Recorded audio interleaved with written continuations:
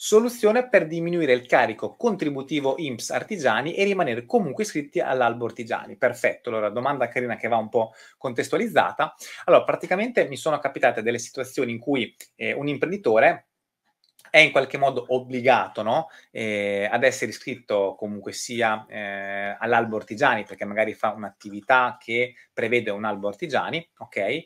E quindi comunque voler ridurre il carico contributivo IMSS. Solo che nel momento in cui noi vogliamo essere iscritti all'albo artigiani abbiamo delle regole, delle limitazioni che appunto uh, limitano eh, diciamo il risparmio fiscale. Perché se io devo essere obbligato ad essere nell'albo artigiani, devo avere almeno il 51% delle quote intestato a me eh, intestata a me come socio lavoratore, ok? E in più praticamente la maggioranza degli amministratori deve essere un socio lavoratore.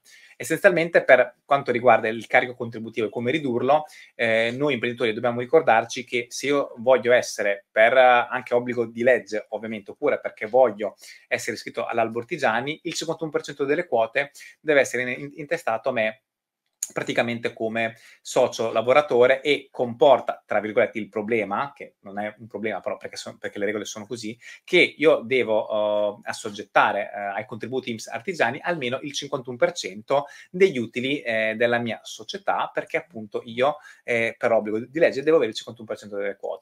Bene, perfetto. Quindi mi è capitato qualche settimana fa di ragionare su una strategia con un imprenditore per gestire questa cosa al meglio e tendenzialmente la strategia è quello di separare praticamente la quota di possesso che io ho nella quota delle mie SRL dalla percentuale di utili, che è una cosa che si può fare. Cioè nelle SRL noi abbiamo l'opportunità di avere una quota del, eh, all'interno della società, che può essere anche del 51%, ma di comune accordo con tutti gli, altri soci, magari io come socio lavoratore mi posso prendere il 5% degli utili, ok? Che ovviamente è uno svantaggio, ok? Perché posso prendere solo il 5% degli utili. Però il vantaggio è che i fini contributivi IMSS, per quanto riguarda in questo caso l'IMSS artigiani, ok? Io devo calcolare i contributi totali da pagare in un anno non sul 51% degli utili, ma sul 5% degli utili. Quindi la strategia fiscale che io consiglio è per chi è obbligato a essere nel mondo art- eh, del, dell'artigianato, almeno avere il 51% di quote, ok?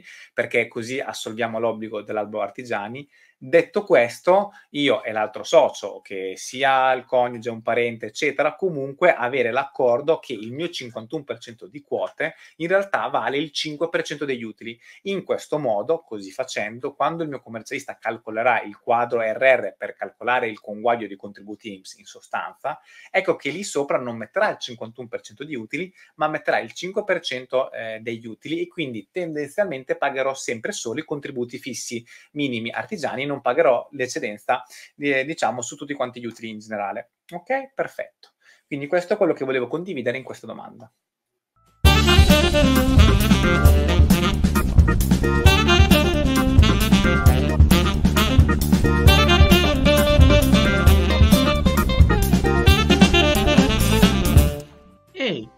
Sei ancora qui?